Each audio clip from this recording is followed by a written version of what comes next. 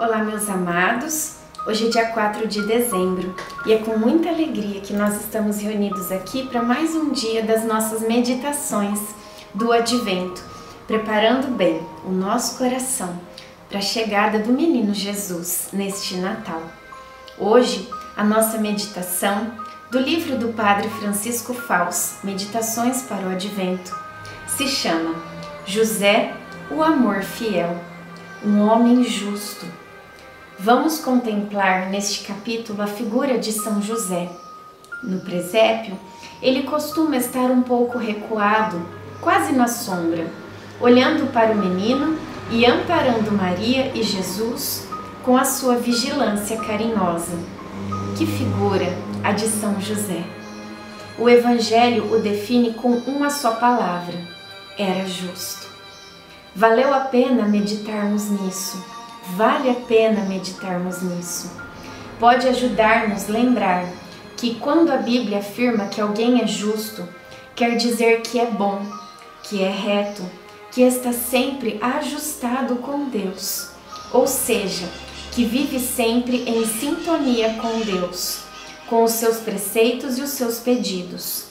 Numa palavra, que é santo e que por isso mesmo também é íntegro e honesto com os outros.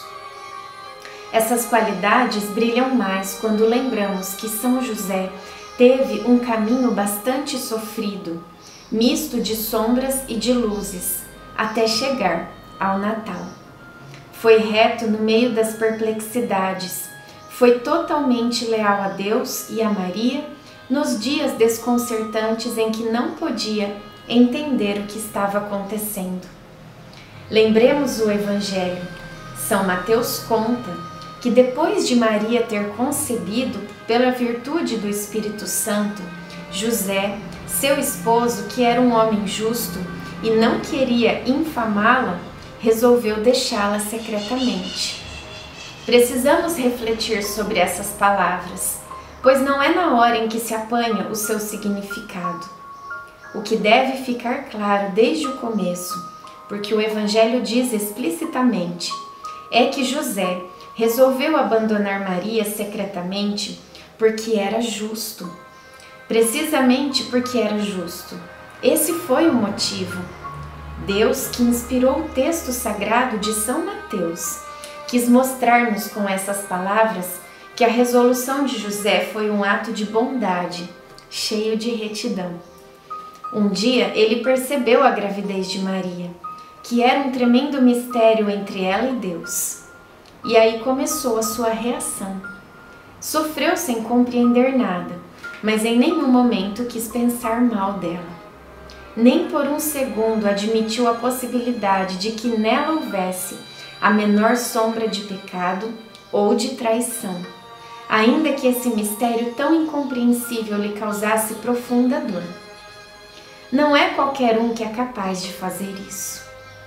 É preciso ter um coração muito grande e agarrar-se a Deus com força. Ele amava Maria, ele a conhecia. Ele percebia a pureza dos olhos, dos gestos, da alma dela. Mas, pensando nela, sentia-se envolto num mistério que o ultrapassava. E Deus permitiu que sofresse talvez para que nós víssemos o que é ser justo, o que é ser bom. Porque, não querendo pensar mal, a primeira coisa que lhe veio à cabeça foi proteger Maria, não a acusar. Nem pensou em se proteger ou defender a si mesmo.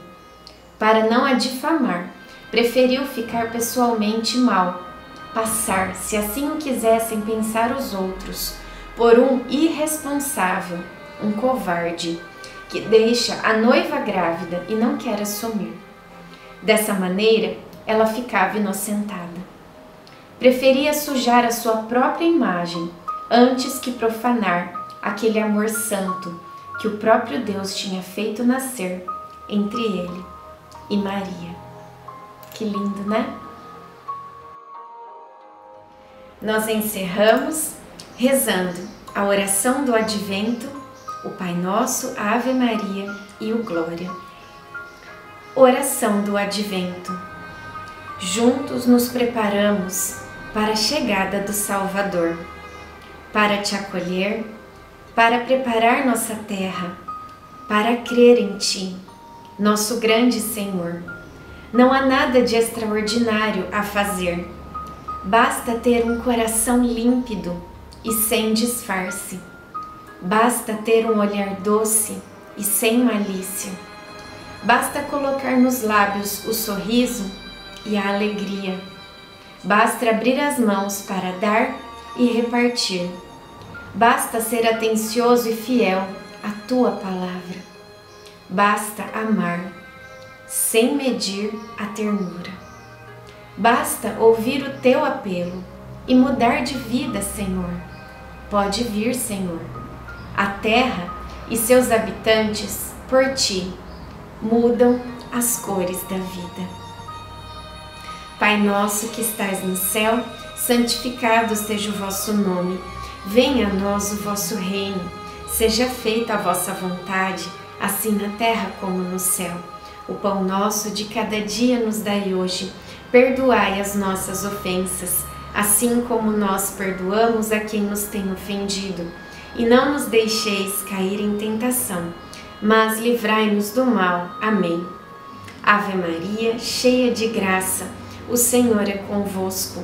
Bendita sois vós entre as mulheres, bendito é o fruto do vosso ventre, Jesus. Santa Maria, Mãe de Deus, rogai por nós, pecadores, agora e na hora de nossa morte. Amém. Glória ao Pai, ao Filho e ao Espírito Santo como era no princípio, agora e sempre. Amém. Sagrada Família, rogai por nós. Em nome do Pai, do Filho e do Espírito Santo. Amém.